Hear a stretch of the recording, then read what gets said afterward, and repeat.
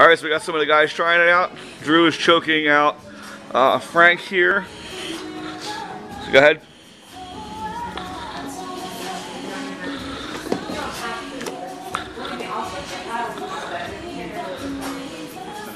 That's great. All right. Choke out Drew.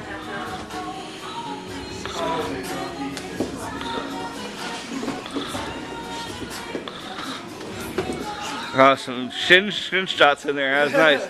All right, Dave, quickly.